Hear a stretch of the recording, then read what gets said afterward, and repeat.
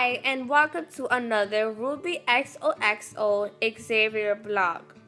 Today, we're going to be talking about the one and only Arlie.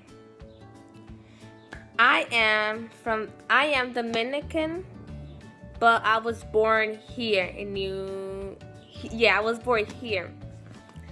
And what I like to do when I come home from school is to dance. And what kind of music you're asking? Not English music, not Spanish music, Korean.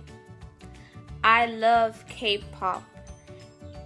K-pop is means the whole world to me. Without listening to it, I go crazy. And I fell in love listening to Korean music is when I fell in love listening to Korean music. It was when I was in my dad's house and I was um, looking at the TV and um, searching for what kind of thing I want to see. And I stopped in this channel called Music something. I don't know. It's it was a long time ago, and I heard the song "Girls' Generation" from Girls' Generation, The Boys, and I fell in love with it like that.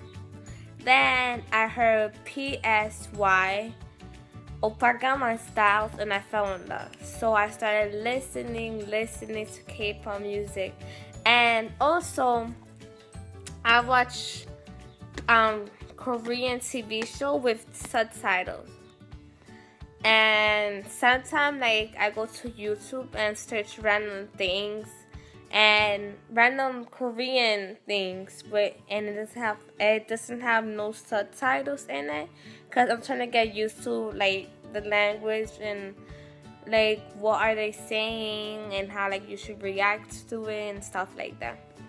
And I hope I could learn Korean in the high school that I'm going to, or Japanese or Chinese, whatever.